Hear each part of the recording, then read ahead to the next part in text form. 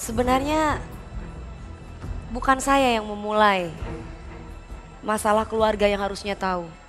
Tapi saya mencoba menjawab apa yang sudah ter, apa yang sudah ada fitnah-fitnah di luaran sana.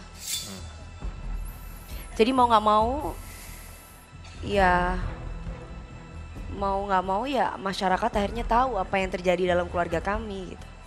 Oke. Apa? Saya, Iya, kamu bisa menyuruh eh, Mami DP untuk mencoba menggigit sebelahnya dan Angga sebelahnya. Lalu saya menggigit.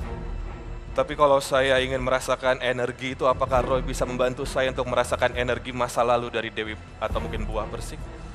Saya bisa merasakan masa lalu yang sangat kelam sekali. Tapi jangan khawatir, setiap masalah pasti ada hasil ya. Ada ada ada jalan keluarnya. Boleh saya coba pegang Roy? Rasakan baik-baik dan ada sesuatu di dalamnya. Aduh, aduh. Aduh, Hmm. saya nggak siap. Siap? yang menusuk dari belakang berasal dari keluarga sendiri. Dan adanya kiriman ilmu hitam. Saya melihat kalau kalian gak kuat sama omongan orang, kalian bisa pecah biduk rumah tangganya. Itu yang saya khawatirkan, Mas Angga. Salah satu pihak dari kalian ada yang tidak suka dengan hubungan sampai pada saat hari ini. Seorang perempuan anggota keluarga atau dari saudara atau dari kolega ya teman-teman masa lalu.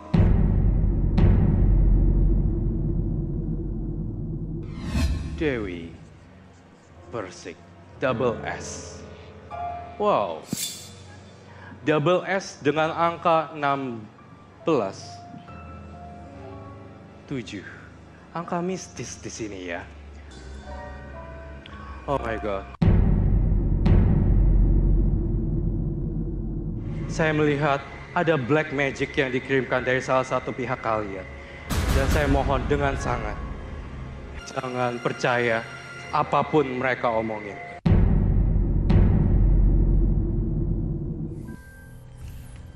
Hmm, tampaknya saya melihat kegelisahan di Mami DP. Apakah ada yang disembunyikan atau ingin dikeluarkan kah? Eh, apa yang Roy waktu itu pernah ramal di tahun kemarin itu benar terjadi. Itu Perempuan benar-benar itu pun terjadi. saya juga sudah tahu siapa. Dan itu Dan saat ini mungkin terjadi. lagi menjadi pemberitaan dan ya saya pun juga tidak mau seperti itu. gitu. Cuman mungkin ini sudah takdir saya. Saya harus menghadapi pengkhianatan, pengkhianatan, pengkhianatan lagi dan lagi, lagi dan lagi. Ya. Iya, iya, iya. Roy.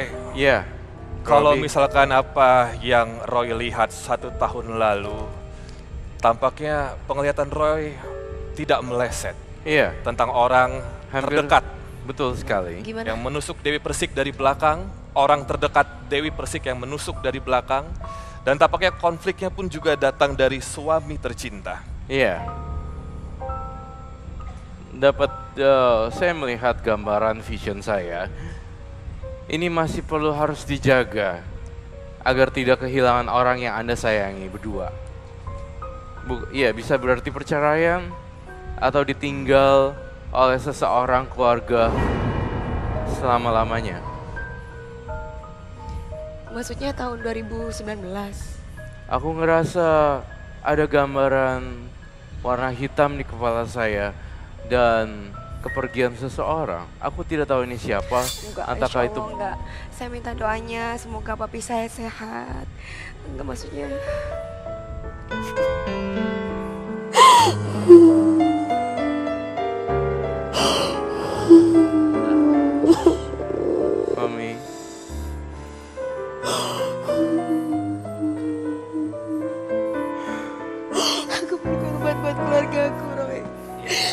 Berkorban semua buat keluarga aku, Roy. Aku gak pernah menyenangkan diri aku sendiri semuanya untuk keluarga aku. Roy. Mami sabar, aku Mami. sayang sama orang tua aku. Iya. Aku aku sedih. Jujur orang tuaku saat ini seminggu tiga kali cuci darah. Papi saya sakit ginjal, paru-paru, kencing manis dan saat ini udah mulai linglung. Kadang sadar, kadang enggak, kadang kenal anaknya, kadang enggak. Saya merasa sakit hati, saya jujur. Sakit hati atas kasus yang saat ini saya alami. Saya merasa bahwa dari dulu selalu hidup aku mengalami pengkhianatan dan pengkhianatan. Ini bukan drama, ini bukan gimmick, bukan. Saya sudah cukup sabar menghadapi apa pun yang saat ini saya jalani. Kandung sendiri aja bisa mengkhianati saya, bisa menyakiti saya.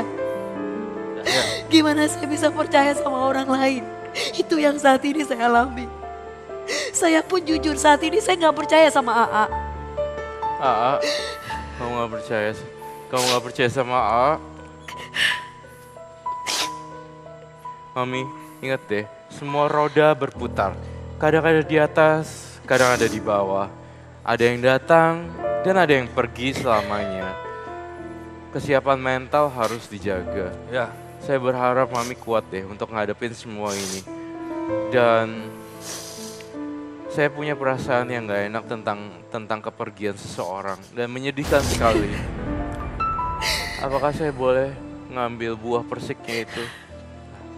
saya malah lebih penasaran dengan apa yang Roy lihat. Bolehkah tergambarkan di sini, Roy? Boleh. Mami, tarik nafas dulu boleh? Ya, tenang dulu ya Dewi Persik. Angga boleh ditenangkan istrinya. Saya penasaran sebenarnya seperti apa yang Roy lihat. Sosok apa ini? Sosok apa itu? Kenapa? Udah, jangan pikirin macam-macam ya. Itu aja, macam-macam. Ups. Sebuah mata.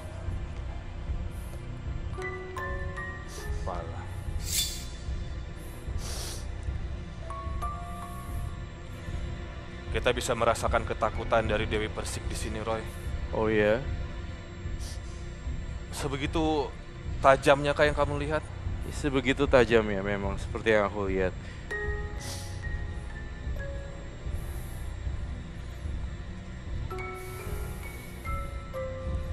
Saya nggak tahu apakah yang akan atau sedang digambar Roy ini menggambarkan sosok yang mengganggu Dewi Persik atau melambangkan kehidupannya sendiri.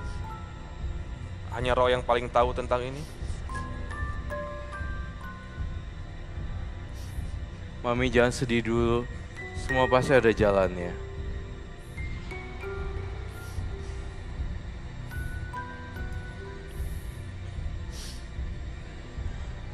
Ini seperti sosok ular ya, Roy? Iya.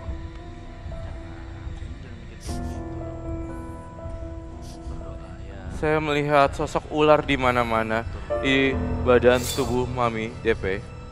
Saya merasakan Di tubuhnya Dewi Persik. ya,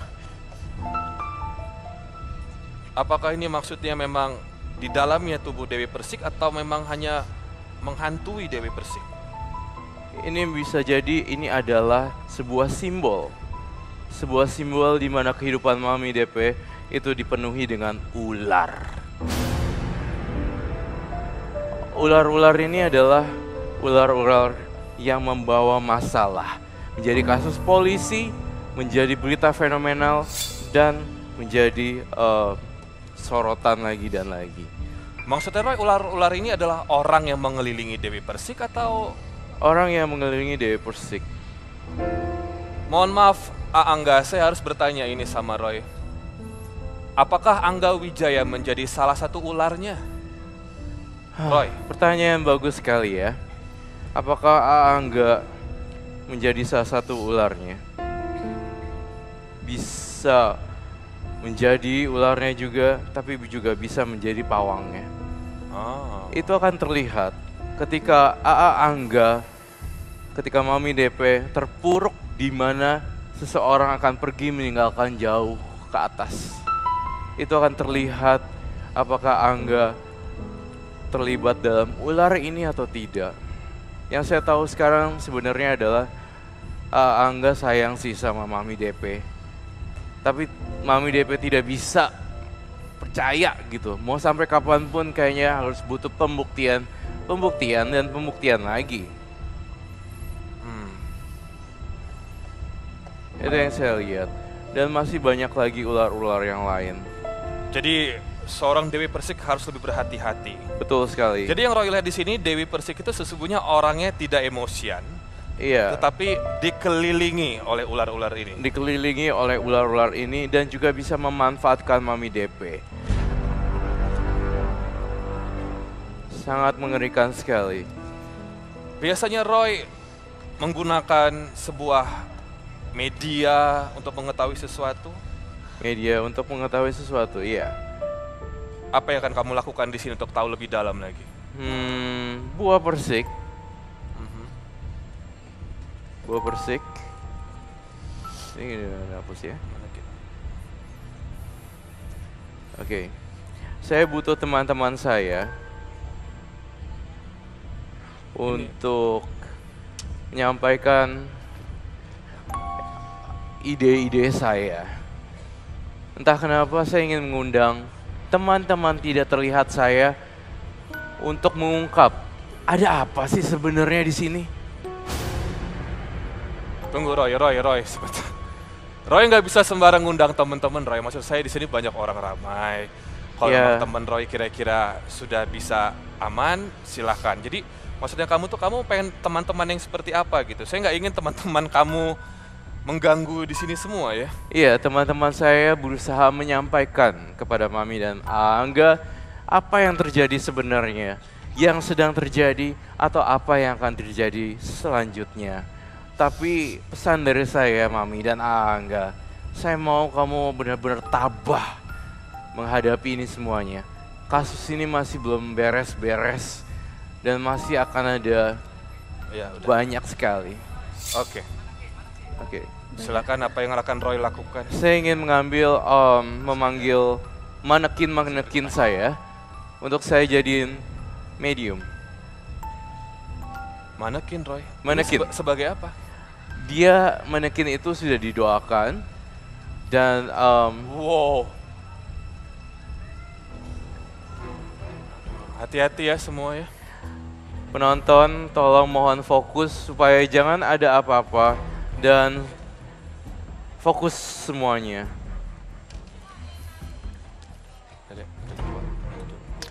Ini makan ini. Iya, ritual pakainya.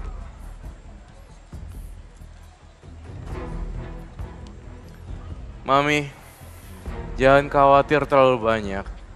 Semua ada jalannya. Oke. Tadi sebelum Roy membaca lebih dalam, tampaknya tadi Roy sudah meminta saya untuk memberikan buah persik ini kepada Dewi Persik dan juga. Angga.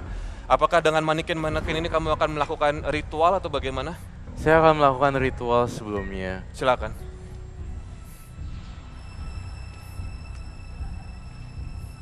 Roy, apakah membutuhkan buah persiknya?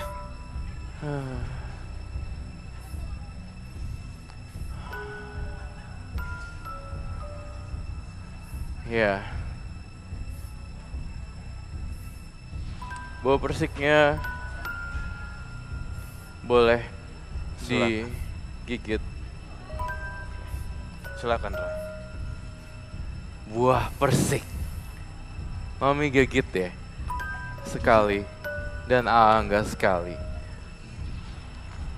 Hati-hati, Mam. Sayangin Mami DP ya. Pasti Roy.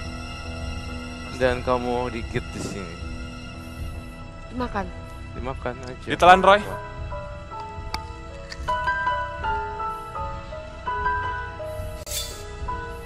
Dan saya akan makan sebelahnya.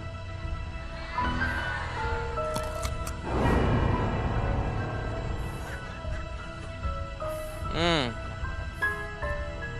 Apa, Roy?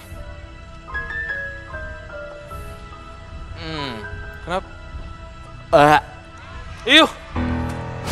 Roy!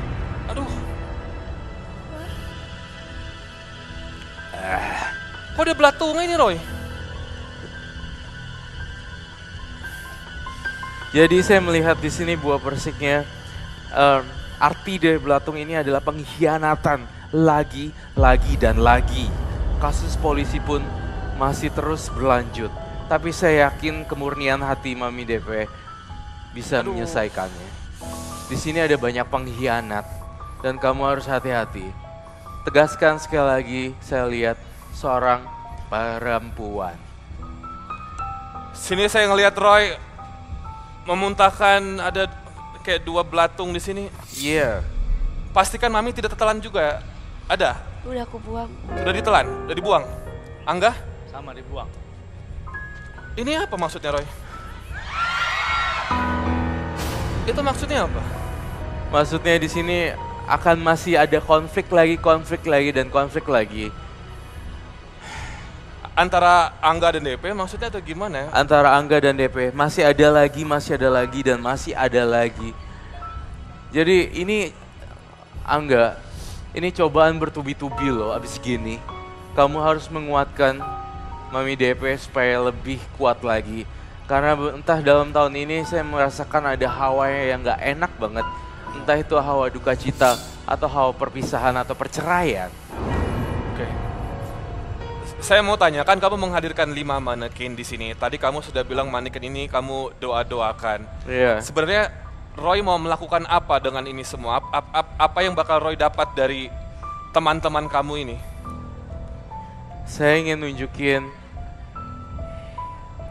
di mana manekin saya ini semua teman-teman saya memberitahu apa yang terjadi sesungguhnya. Dan media ini saya gunakan, saya rasuki semua arwah-arwah ke dalam boneka ini dan menceritakan apa yang terjadi. Bisa jadi bisa jadi mungkin orang yang akan kena efeknya. Maka ini fokus ya hmm, semua orang di sini. Oke, Roy minta fokus semua yang di studio atau di sini semua. Di convention semua fokus boleh.